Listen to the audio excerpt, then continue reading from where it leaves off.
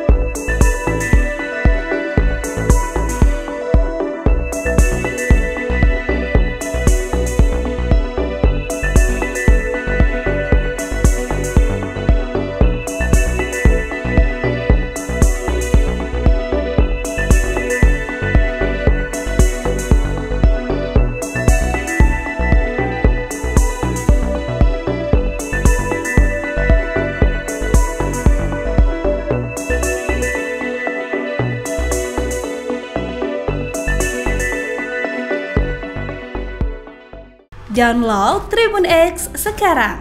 Menghadirkan lokal menjadi Indonesia.